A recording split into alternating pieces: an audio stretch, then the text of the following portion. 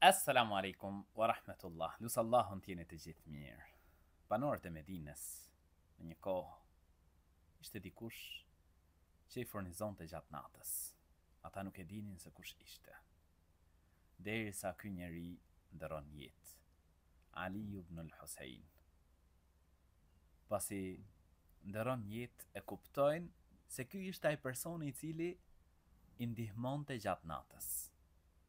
Ky njeri e bënte këtë gjë fshehurazi. Pa e marrë vesh njeri. Pasi ndërroi jetë, panë që në shpinën dhe në supin e tij kishte shenjën e thasëve që bante gjatë natës. Shkonte, shpërndante ushqim, gjërat që ata kishin nevojë tek fëmijët jetimë dhe tek njerëzit në nevojë. Subhanallah çfarë njerëzish. Bënte vepra të mira, por nuk doshte ta merrte vesh njeri. Kuptohej se ai e kishte bërë këtë vepër vetëm pasi ndërronte jetë.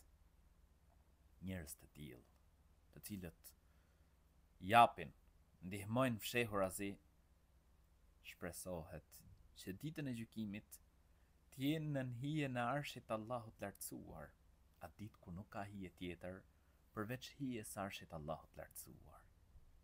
Kështu kuptohet prej një hadithi të Muhamedit alejhi selam.